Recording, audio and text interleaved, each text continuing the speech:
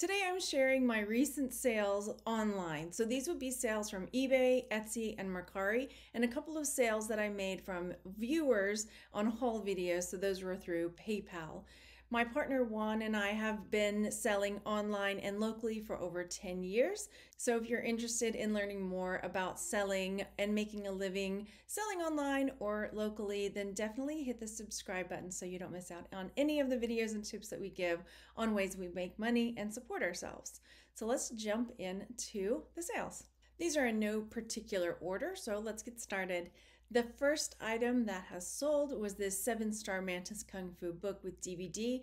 You may have seen me sell some of these before. I have some that were given to me from a friend, and this sold for $45.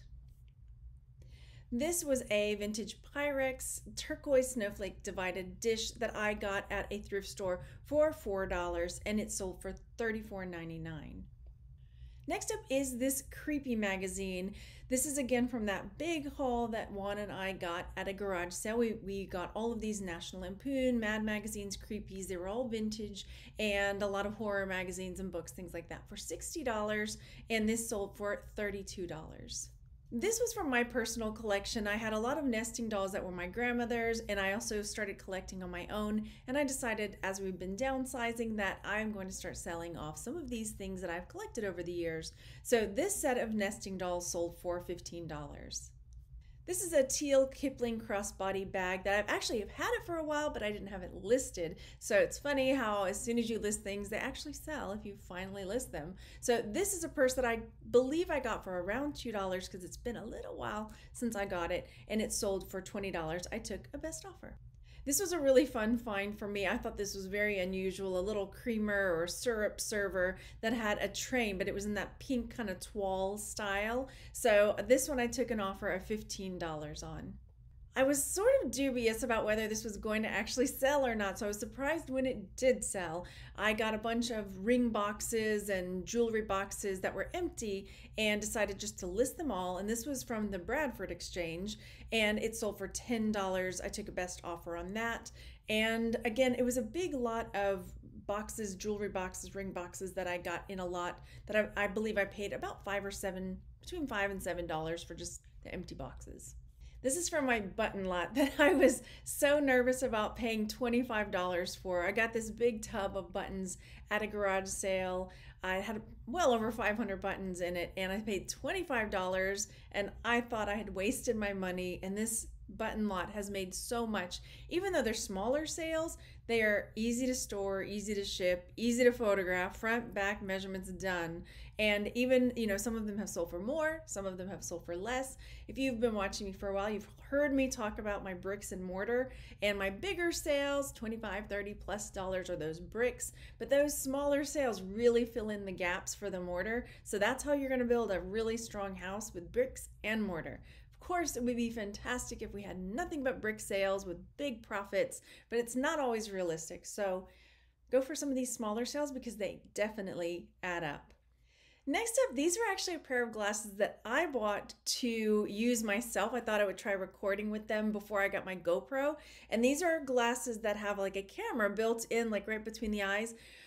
But they were so glitchy, and like if I turned my head, it was just blurry, and it, it just wasn't working for video type quality for videos. So that I resold for $15, and I was glad to recoup some of my money back on those. This is a Michael Kors wallet that I recently got at the Goodwill, one of my favorite Goodwills, and I spent $4 on this and sold it for $20.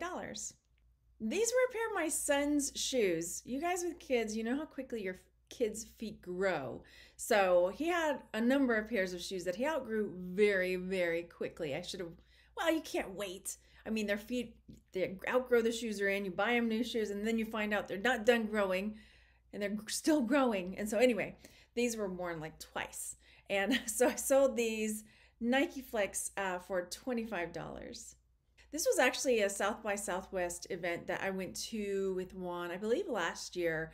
Uh, it was a Doc Martin showcase, and this was some of the, the merch that they were just giving away there. And so I sold it for $9.99.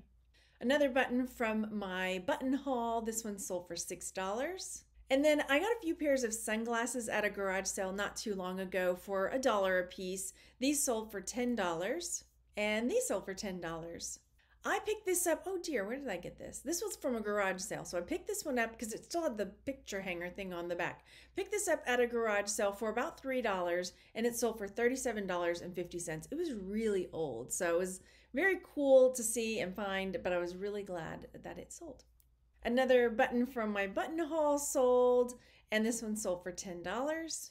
This Suicide Squad comic is one from a friend of mine's lot that she gave me. You'll see these comics have been selling probably for the last couple of years. My friend gave me nine long boxes of comics that she had, and I have been selling them over the years. So definitely let your friends and family know what you do for a living or what your goals are. You're trying to become a reseller, selling things for extra money, what have you. And you'd be surprised at what kinds of things that they come out with that they've got that they're willing to part with to help you reach your goals. This is a new Burbank sticker, and this is from the show Firefly. I got the su- subscription boxes from Loot Crate for the Firefly series for a while, and they were fun to get, but I realized that I don't need all this stuff, and I ended up starting to sell it off. And this sticker, I was going to say button, this sticker sold for $10. This Team Duke patch I got in a shoebox full of other patches and things at a garage sale. It had keychains, patches. I initially got the box because it had a whole bunch of Harley patches in it, and some of the other things, keychains and whatnot, have been selling quicker than the Harley stuff. This is another patch that was in that box as well. This one sold for $8. This dog I recently got, this one and another one that just sold but I haven't shipped it out yet. Um, but this one sold for $34.99. I spent $4 on this one, $4 on the other one. And so, yeah, sold for $34.99 very quickly, actually. It makes you wonder. It's kind of weird. I mean, it's cute and weird. The puppy's kind of sad, maybe because he's chained up with a kitty, or maybe it's because he's chained up. Who knows? This is a cool clay seller box that I got and sold for $17. This is a Funko Pop Lost in Space vinyl figure. These are actually, they sell for really good money if they're still new sealed in the box, but mine sold for $20. I probably could have gotten more, but eh, yeah, I ended up taking a best offer of $20 on this. This really cute sushi teacup sold for $14.99, and I believe I paid about a dollar for this. I'm trying to remember if I got it at a garage sale or at the thrift store. Another pair of those sunglasses sold for $14.99. I paid a dollar for these. This multicolored gemstone tree of life sold for $40. I got this one and I believe an amethyst, I think it's amethyst, one at a garage sale and I paid $2 a piece on those. This Wii Sport sold for $17. Again, I've been going through, we've been cleaning stuff out, we're getting rid of our Wii stuff, and so we've been selling some of the games and accoutrement that goes with that. And this one sold, but then we also had some that we, you know, that's one of those to look out for when you're at garage sales to pick up to flip. This is one of my kiddos' uh, Pokemon cards. This sold for $9. This really cool green divided ser- serving dish sold for $25 and I paid $3 for this. This vintage black Coca Cola crate I got in a, it was on the curb. Like somebody had done a freebie, you know, come get all the stuff off the curb. I'd gotten all of this Halloween stuff, and there were two Coca Cola crates there. And this is the one, the first one that has sold. I still have another one, and it sold for $12.50. And this cute little horned owl juice cup sold for $8. I started to panic because this is one of those items that I could not find, and I don't want to get more defects on eBay. You know, they really give you these defects if you don't ship out on time or if you have to cancel sales. And I was so nervous because I couldn't find it, but it was really small and tucked in, my tub where I keep all my cups and mugs and things. But we found it, thank goodness. And it sold for $8. These are red aspen nails. These sold for $20. These I actually got, I was selling these for a while, not, not exactly selling them, but I had a link where I was selling them, getting them, wearing them. And I would get points, and so I would get free nails. And this is some of the nails that I got with my free points. So this was $20, and there's some other ones that are coming up as well. These also sold for $20. This ashtray sold for $35. I got this at a garage sale for 75 cents. There were actually two. I got this one and then there was one with a teepee on it that already sold. So 35 bucks on this. Here's another one of these buttons. This is Lasma South. It's something to do with horse racing, clearly, and it sold for $12.99.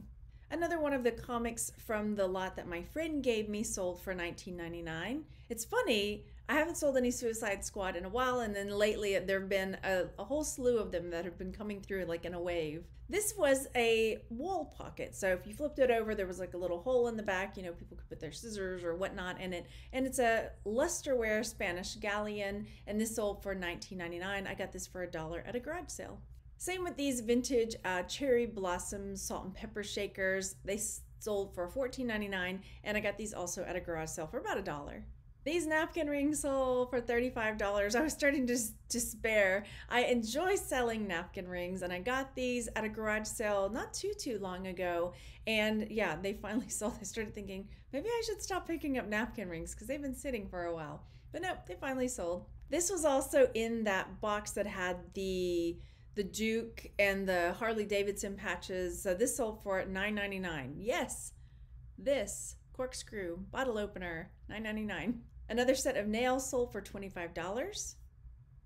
And this little Austria ring sold for $22. I've had this listed for a very long time. I think because of the damage on it, you see there's a little chip right there that it um, it just kind of deterred or detracted from it for a while, but finally found the right buyer. I can't even remember. It may have come in a lot, but it's been really, really a long time that I've had this. This really cute wood carved spoon. I actually had this on my own because I have a lot of wood decor and I never did end up hanging it up. So I finally decided to sell it and it sold for $35. Another set of nails sold for 20 and this is another one that sold for 20 This is another of the comics that my friend gave me. This sold for $19.99.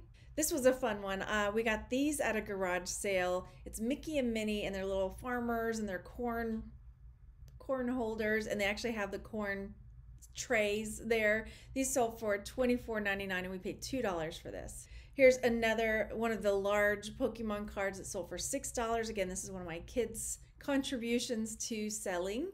This patch was in what was this in? There was a big lot of patches, like a big, uh, like gallon sized bag that I got of patches that I'm slowly working on listing uh, that sold for $9. This was actually mine, another one of my collectible things that I like. I liked collecting a lot of Harry Potter stuff, and I decided I just don't really need it. It's mostly sitting in a box or a tub, so I just started selling it off. And this was like a a tin that you would put candy in, but the lid popped off. It had like a piggy bank hole, and this is the night bus from Harry Potter. Sold for 11 bucks. Another Wii Sport sold for 14. And I had two sales from a haul video. One was from our storage locker haul. I had a 10 karat gold bracelet that I found in the locker and it sold for $150. And then a recent haul that I did, I had a Betsey Johnson black and white purse that sold for $50. If you enjoy videos like these about things that sell online or things that I'm picking up, I'm going to link a video up here. And this is one that YouTube thinks you'll enjoy. And if you haven't, consider subscribing to the channel. And I'll see you on the next one. Thanks for hanging out. Bye.